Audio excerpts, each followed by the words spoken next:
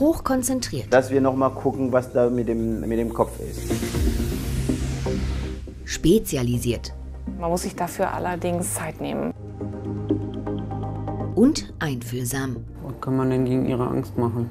Das sind die Neurologen des Asklepios Klinikum Uckermark in Schwedt.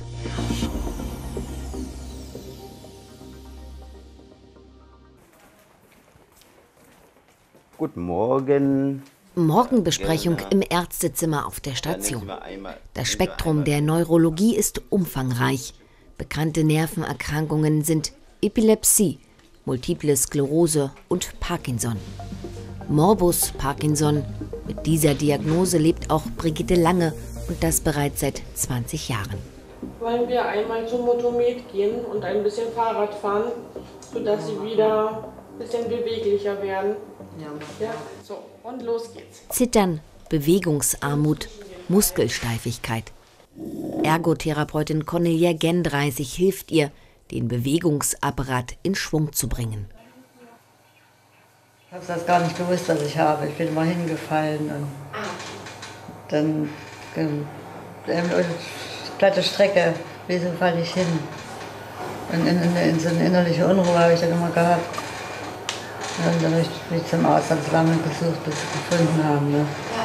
Und letzten Jahre jetzt ist es ganz schnell runtergegangen mit mir. Mit 56 Jahren fängt bei ihr alles an. Die ehemalige Sekretärin steht plötzlich vor einem Abgrund. Sie ist unheilbar krank. Aber Brigitte Lange ist stark, lässt sich nicht nach unten ziehen und begibt sich in die Fachhände der Neurologen. Die Therapie steigert ihre Lebensqualität deutlich. Heute hat sie einen Termin bei Chefarzt Alain Gento. Brigitte Lange hat einen Hirnschrittmacher. Dadurch wird das Zittern und Kopfwackeln nahezu völlig eingedämmt. Aber es gibt ein Problem. Die 76-Jährige stürzt immer wieder. Die Kontrolle des Hirnschrittmachers könnte Aufschluss geben. Auf jeden Fall stellen wir heute mal äh, um und dann gucken wir morgen, ja, oh genau, und dann gucken wir, ob wir morgen Nachmittag nochmal umstellen oder ob das so gut ist.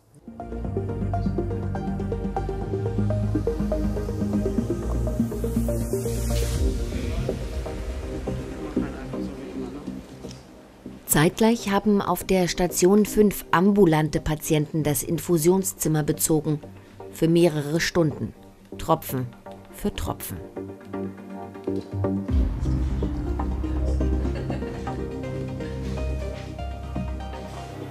Also es war schon so weit, meine Frau musste mich fördern. Gerd Horn leidet unter MMN, multifokale motorische Neuropathie. Damit verbunden sind Lähmungen, Einmal im Monat kommt er zur Infusionstherapie. Seine Krankenkasse übernimmt die Kosten. Zwischenzeitlich war das anders. Da finden die dann den Paragraph nicht zugelassen, bin fertig.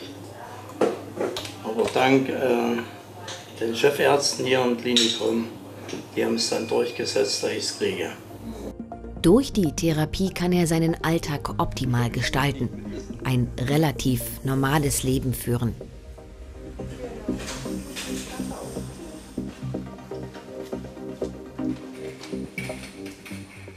Ganz so einfach ist das bei Brigitte Lange nicht. Die 76-Jährige fürchtet, dass die Stimulationsintensität des Hirnschrittmachers nicht mehr ausreicht und deswegen immer wieder die Beine wegsacken. Die Intensität und die Funktion kann, äh, kann sie nicht selber verändern. Ja, das machen wir mit dieser. Ja, ja, das haben da nur die, nur die Ärzte. Ja, das heißt, sie kann nur mit dem hier ein- und ausschalten. Brigitte Lange muss mit der Situation leben und wird immer wieder Patientin der Neurologen sein. Denn Parkinson lässt sich nicht heilen. Gut, okay, die Schwester kommt, ja? Habe ich Bescheid gesagt. Gut. Zeitgleich wird in der Notfallambulanz ein Patient mit Verdacht auf Schlaganfall aufgenommen. Sehen Sie in der nächsten Folge Schlaganfall jede Sekunde zählt. Time is Brain, Zeit ist Hirn. Der Arzt Felix Teupel reagiert sofort.